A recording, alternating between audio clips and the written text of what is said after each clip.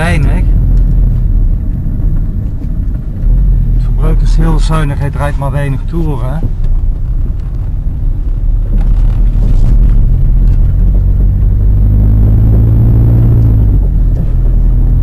Ook nog zuinig als een brommobiel.